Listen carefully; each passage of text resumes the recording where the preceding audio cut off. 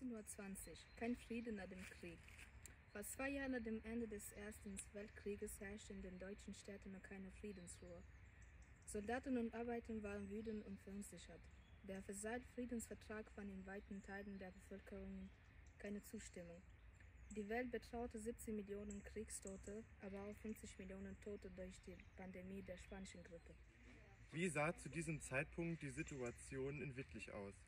Zitat entnommen aus dem Buch von Dr. Klaus Petri. Die Geschichte der Stadt vom beginnenden 19. Jahrhundert bis zur Zeitwende am 10. März 1945. Viele Familien hatten einen Angehörigen im Felde verloren. Andere Männer wurden noch vermisst oder waren verstümmelt heimgekehrt. Die Trauer und das Leid innerhalb der Familien können hier nicht beschrieben. Es soll nur darauf hingewiesen werden, die Not innerhalb Wittich war so groß, dass im Witticher Tageblatt vom Februar zur Witticher Nothilfe für die Bedürftigen aufgerufen begann wurde. die Zeit der Weimarer Republik, die historisch auch als Zeit des Interbellum bezeichnet wurde. Das heißt als Zeit zwischen den großen Weltkriegen. Sie begann mit dem 11. November 1918 Waffenstillstand und endete am 1. September 1939 mit dem Überfall auf Polen. Die zwei Jahrzehnte zwischen dem Ersten und dem Zweiten Weltkrieg werden in der Geschichtsschreibung einmütig als Phase besonders ausgeprägter politischer und wirtschaftlicher Instabilität und Krisenhaftigkeit beschrieben. Häufig wird diese Zwischenkriegszeit auch als Zweiter Dreißigjähriger Krieg bezeichnet. Ein Stadtrundgang Ende 1949 von Matthias Josef Mäß. Erinnerungen des ehemaligen Bürgermeisters von Wittlich. Als schrecklichster Tag steht der heilige Abend des Jahres 1944 noch vor unser aller Augen.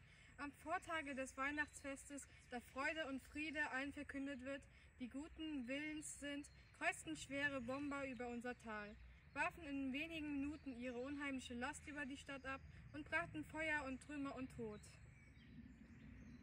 Der, Ze der Zweite Weltkrieg endete am 8. Mai 1945 auf dem europäischen Schauplatz. Weltweit waren 60 Staaten direkt oder indirekt beteiligt. Wir verzichten darauf, die Zahlen der Opfer zu benennen. Im Folgenden möchten wir aus der Rede von Richard von Weizsäcker vom 8. Mai 1985 zitieren. Wir gedenken heute in Trauer aller Toten des Krieges und der Gewaltherrschaft. Wir gedenken insbesondere der sechs Millionen Juden, die in deutschen Konzentrationslagern ermordet wurden.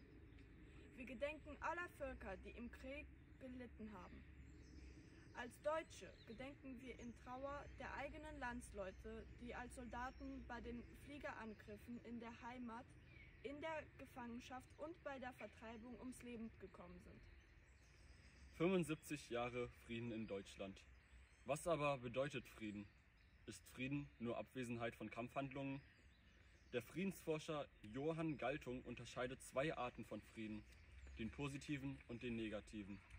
Negativen Frieden bezeichnet er als eine Zeit ohne Krieg oder gewalttätige Auseinandersetzungen. Positiver Frieden bedeutet für ihn, Gewalt nimmt ab und Gerechtigkeit nimmt zu. Leider sind wir davon noch sehr weit entfernt. Auch unsere heutige Welt steht auf dem Kopf.